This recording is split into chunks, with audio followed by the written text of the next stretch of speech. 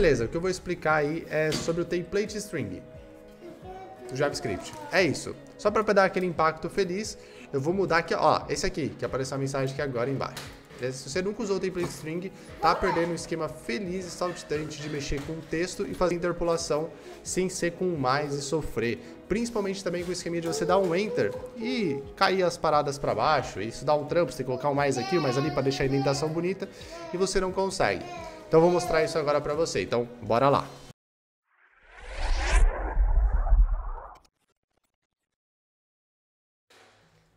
Beleza, a linha ficou meio cagada, mas é isso aí, ó.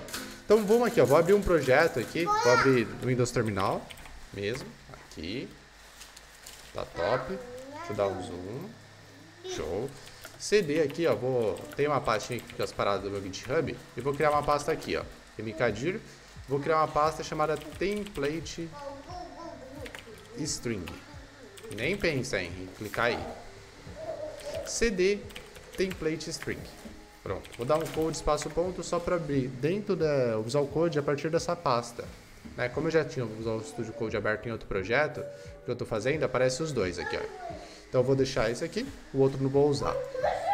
Para fazer a explicação, eu vou criar duas, dois arquivos. Vou criar a index.html.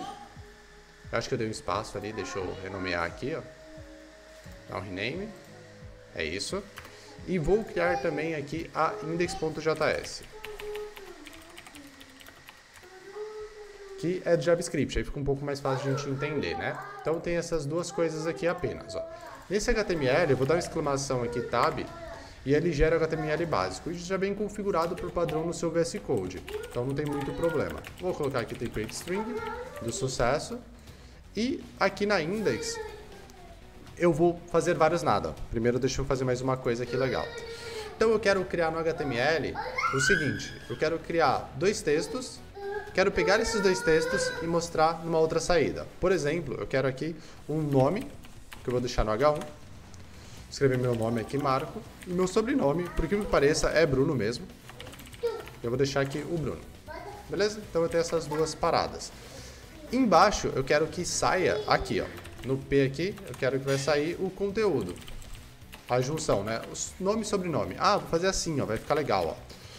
Vou fazer aqui um H3, eu vou colocar aqui, ó, nome e sobrenome. E aí, embaixo, a gente faz um parágrafo que vai ter o conteúdo. Que, por enquanto, vai ficar um texto tosco. Então, essa é a estrutura que eu quero. Então, isso daqui seria o nosso nome. Vou colocar um ID toscamente aqui mesmo, só para a gente buscar. Esse é o nosso nome. O Bruno é o sobrenome. Vou colocar outro ID. Sobrenome. Aqui embaixo, não tem, não tem por que se preocupar com isso, né? nome sobrenome só. E aqui o conteúdo. Então eu vou chamar aqui de ID conteúdo. Top. Então essa é a estrutura que nós temos. Aqui dentro da index.js, agora eu quero fazer essa mutreta.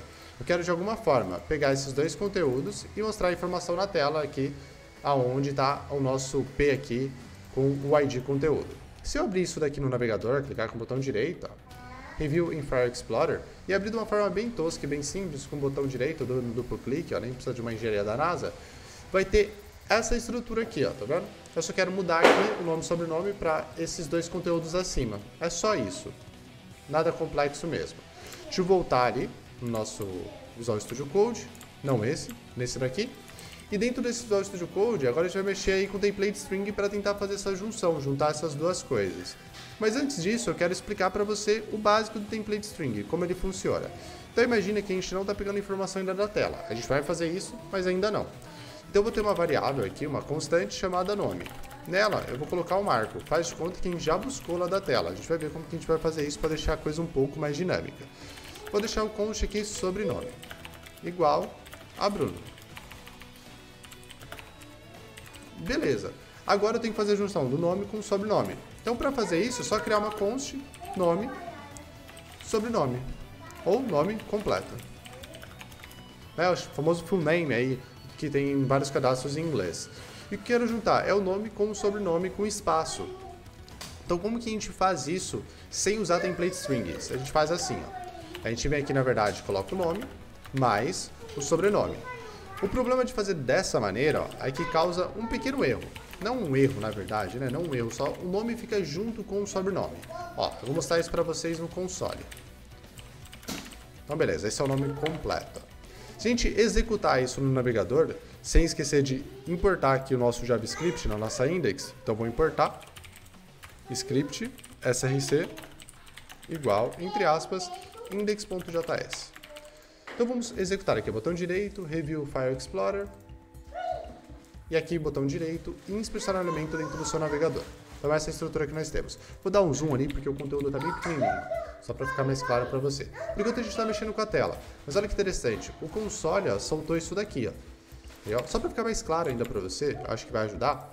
Olha que legal, a gente pode colocar aqui, ó, console.log, falar assim, ó, nome, qual que é o nome, né? O nome separado, nome, dois pontos, vírgula e a gente passa a variável nome. Então isso vai ser imprimido na tela, nome e na frente o nome da variável, o valor que está dentro dessa variável, de fato, né? Aqui outro console log, sobrenome, dois pontos, espaço, vírgula, sobrenome. Ponto e vírgula. Isso é o suficiente. Beleza? E aqui embaixo o nome completo. Dois pontos, entre aspas, o espaço e a vírgula. Pronto. Vamos dar uma olhada agora no navegador que acho que fica mais claro. Dei um refresh aqui no navegador com o Ctrl R. Recomendo que você use o Ctrl R ou Ctrl F5 para sempre estar tá limpando o cache. Então, ó, nome, Marco, sobrenome Bruno, nome completo, Marco Bruno. O problema é que não tem o espaço, tá vendo? Tá meio ruim para leitura, porque na verdade isso aqui está se tornando uma palavra só. Na verdade são duas, o nome e o sobrenome. Então a gente tem que adicionar um espaço aqui ó, entre as duas. Para fazer isso, a gente usa aqui aspas simples ou aspas duplas, tanto faz, e coloco mais. Olha que interessante. Nome, a gente concatena com o sobrenome e entre eles a gente está concatenando um espaço, né? uma string com espaço. Isso, bem de boa ali, ó, continua funcionando perfeitamente. De boa nasquelas, né? De boa naquelas mesmo. Olha esse código que horrível, que feio, né? É bem feio mesmo. É feio por quê? Porque você tem um monte de concatenação aqui com mais que é difícil de ler a gente tem apenas duas variáveis que a gente está concatenando com espaço. Isso é muito comum quando a gente está lidando com string, com texto, quando a gente quer juntar dados. Isso é muito comum em várias aplicações. Só que isso, a manutenção torna muito chato, muito difícil. Manutenção difícil, software caro. Então o que a gente faz nesse momento? A gente faz o seguinte, vou criar uma const aqui, uma outra const, só para deixar de efeito de comparação, e vou dar o nome completo aqui dela, como sendo template string, vou chamar de TS, parece que foi de TypeScript, mas faz de conta que não é. Beleza? Faz de conta que não é não, não é, beleza? É de template e string. Então vou colocar aqui entre crases. A representação de template string é entre crases, beleza? Então o que a gente quer é pegar o nome, espaço, o sobrenome. Em template string fica assim, nome, espaço, sobrenome, beleza? Então vamos ver se é verdade. Eu falei que fica assim, eu quero ver funcionando. Então eu vou colocar aqui, ó, console log, abre fecha parênteses, nome completo com template string. Beleza? A exibição tem que ser igual. Tem que ser exatamente igual. Se não funcionar, tem algum problema no nosso código. Então vamos descobrir aí. Voltar ali no navegador e dar um refresh. Espera aí, não deu um erro, mas não funcionou muito bem. Saiu a palavra nome e sobrenome, beleza? Vamos voltar no nosso código. O que acontece é o seguinte, a gente mandou imprimir a, o texto e nome e o sobrenome. Então a primeira coisa que a gente pode ver nesse template string é que o template string é uma string, é um texto. Primeira coisa é isso. Só que a gente pode interpolar, que é juntar é, string, nomes de, valores de variáveis e tudo mais, sem a necessidade de usar um mais, deixando o código mais limpo. Mas de alguma maneira a gente precisa falar por JavaScript que o nome e o sobrenome a gente não quer o texto, mas sim o valor que está dentro das variáveis que estão na linha 1 e na linha 2. Para fazer isso, a gente tem que envolver né? O, o, nome, a palavra nome, que é o nome da variável ali na linha 1, e a palavra sobrenome com a seguinte estrutura: cifrão, abre o bigode e fecha o bigode. Tudo que estiver entre dos bigodes aqui desse cifrão vai ser representado como um código JavaScript. Quando eu falo código, é código, é tudo. Você pode ter um if ternário, aqui dentro você pode ter qualquer coisa, uma função, eu vou te mostrar isso. Mas aqui a gente está usando apenas uma variável. Então a gente faz na outra variável a mesma coisa. Ó. E agora, o que vai ser impresso é os valores das variáveis aqui que foram declarados na linha 1 e na linha 2. E não mais o valor da string, nome e sobrenome. Vamos voltar no nosso código e dar uma olhada. Perdão, nosso navegador. Olha lá, nome, Marco e Bruno. Show? Agora está funcionando. Olha a sintaxe como é muito mais limpa da linha 4 para a nossa linha 3. Tem outras vantagens também. Por exemplo, se eu quisesse dar uma quebra de linha, dar um enter aqui, né? Fazer esse tipo de comportamento. Eu consigo dar essa quebra de linha, tá vendo? Apenas usando o enter naturalmente ali, ó. Eu apenas dei um enter e a quebra de linha aconteceu. A quebra de linha eu não posso assim no meio do texto, ó. Repara que aqui ó, já está reclamando, né? Falando que eu não posso fazer isso. É uma gambiarra gigantesca. Você tem que dar um BR ou um barra N. E é muita gambiarra, beleza? Gambiarra assim no meio do código. Você teria que fazer algo parecido assim. Ah, aí eu vou ter que vir aqui e dar um barra N aqui, ó. Acho que é assim que faz, ó. Beleza? Então você tem que conectar com barra N para expressar que você vai ter um enter ali, ó. Ó lá. Aí você consegue fazer o enter. Olha como isso é muito mais complexo da linha 3 para a linha 4 e 5 aqui. Muito, muito. Você fica muito mais difícil de ler. Você tem mais aqui concatenando. Você pode... Ah, não, aqui é o enter. O enter é um enter, beleza? Então o enter, ele é considerado ali, de Cinco fato. meses beleza? felizes de aprendizado. Muito obrigado, muito obrigado pelo sub aí, Reis Dev. Valeu pela ajuda. Então essa é a estrutura. Beleza? Essa é a estrutura que você vai ter com o template string. Eu também falei que você pode executar funções. Então eu vou simular aqui ó, uma função. Beleza? Dentro desse nome, eu vou fazer dessa maneira aqui, ó e vou retornar, né? Agora, em vez de guardar uma variável, eu tenho uma função chamada nome que ela retorna o nome. Né? Só para ficar bonito, eu vou fazer isso aqui. Eu faço de conta que a gente fez uma coisa muito complexa. Get nome. Top. E aí eu vou deixar o nome aqui em cima, ó. Vai ficar mais elegante aí, ó. Nosso código vai ficar muito mais elegante. E deixar aqui o marco, ó. E aí, na verdade, o que a gente vai retornar no getNome é a variável nome, ó. Vou apagar aqui em nome. Beleza? Então, se eu quisesse executar essa função dentro do template string aqui em vez do nome em si, eu poderia. Eu poderia vir aqui e chegar sem problema nenhum aqui, ó. Colocar aqui, ó, get nome, abre fecha parênteses. Pronto. A estrutura está pronta. Aí, sei lá, pode fazer um get nome que já retorna o nome. Não, tudo bem. A gente pode fazer um tratamento aqui diferenciado, ó. Botar aqui um sir, ó. Que legal. E a gente usa template string de novo. Então, o senhor Marco Bruno Senhor não tenho nada, né? Só se for de idade que está chegando na idade de senhor. Né? Mas olha que legal. Ó, tá ali, ó. Senhor Marco Bruno. Então já concatenou, já fez um tratamento no nome, né? A gente faz um tratamento no get nome, coloca um prefixo de tratamento e funciona legal. Então você pode usar tanto aqui funções quanto variáveis. Então o template string usa essa magia gigantesca aí a nosso favor. Agora se eu quisesse pegar as informações da tela ali, né, que eu falei que dá para pegar as informações da tela, não é algo tão complexo. Então em vez aqui do da variável nome, eu gostaria de pegar exatamente a estrutura, né? A estrutura não, perdão, o valor que tem daquela tag. É só a gente chegar aqui, colocar um document ponto é, selector, abre fecha parênteses, e aqui dentro eu posso passar o ID, ó, o ID do nome. Vamos ver se vai continuar funcionando normalmente, né? Deu um errinho aqui, eu escrevi document errado, ó, vacilei. Deixa eu inverter aqui o meu N. Rolou uma dislexia de lábios. Tá ali, ó. Só que o problema é que eu não quero a tag, né? Repara que foi a tag. Eu quero o conteúdo da tag. Se eu quero o conteúdo, ponto content text. Perdão. Inverti, rolou dislexia de novo. Text content. Olha lá. Já funcionou normalmente como estava funcionando anteriormente.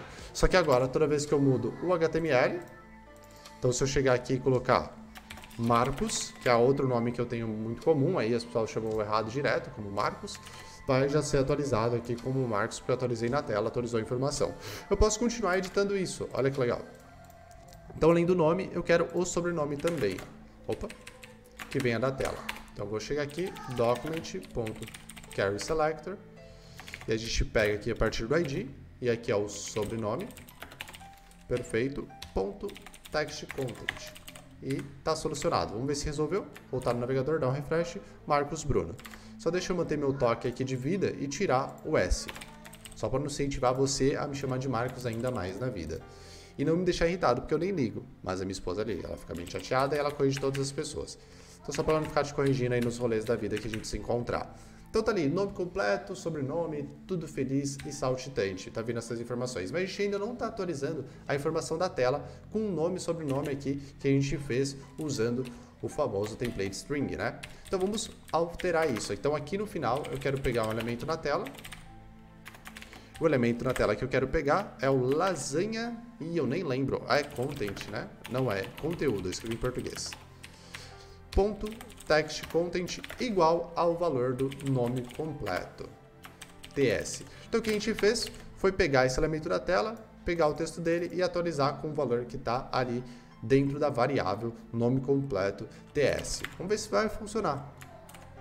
Olha lá, funcionou de forma maravilhosa, já está aqui na tela, está aqui no console log, está em todos os lugares, beleza? Então esse é o básico do Depend String, eu recomendo que você estude mais, isso tudo que eu aprendo, basicamente eu aprendo aí, galera, aprendo mesmo, aqui na MDN, MDN Template String, essa é a minha maior referência de estudo, então olha lá na MDN, ó, inclusive estava roxinho ali para te provar que é verdade, sempre olha, dá uma lida, ó, inclusive essa parte da tradução está feita em português, né? Mas aqui, ó, tá falando que a tradução tá incompleta, então recomendo que você veja em inglês.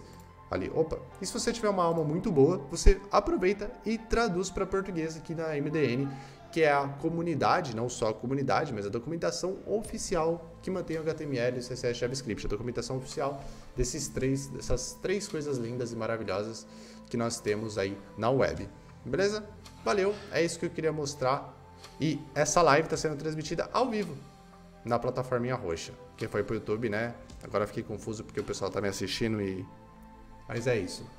Brigadão e falou -se.